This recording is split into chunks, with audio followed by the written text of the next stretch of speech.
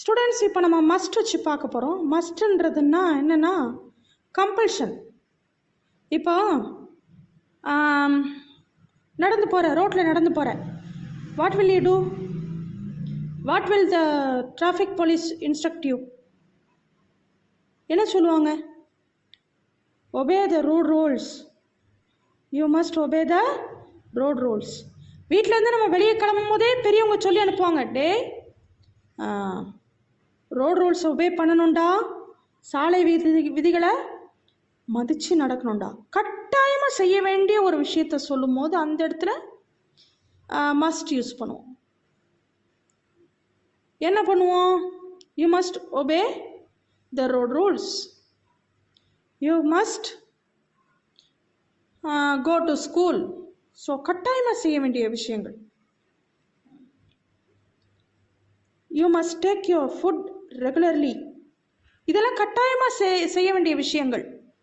இல்லையா? Then what else இதை compulsory இது பண்ணும். யூ மஸ்ட் ஸ்டடி வெல் ஏன் நல்லா படிக்கணும்? ஏன் நல்லா படிக்கணும்? சொல்லுங்களேன். நல்லா படித்தா நமக்கு நல்லது. உனக்கு அறிவு வளரும். சம்பாதிப்பேன் வேலைக்கு போகாதெல்லாம் அடுத்த பட்சம். ஆனால் நல்லா படித்தா உனக்கு அறிவு வளரும். So you must study well okay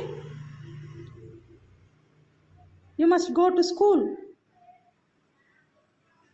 you must go to school on time டைமுக்கு ஸ்கூலுக்கு போகணும். யூ மஸ்ட் கோ சூன் எதுக்கு? To catch the bus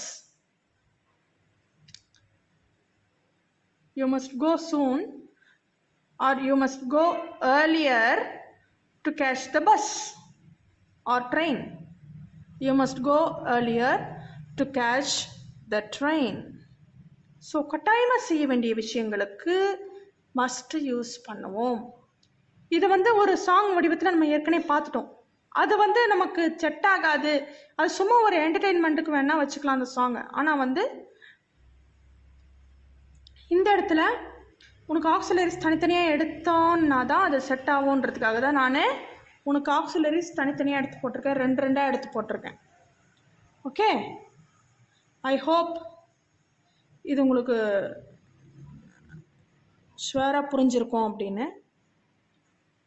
இன்னும் என்னுடைய சேனலை சப்ஸ்கிரைப் பண்ணாதவங்க சப்ஸ்கிரைப் பண்ணுங்கள் ஓகே தேங்க்யூ ஸ்டூடெண்ட்ஸ்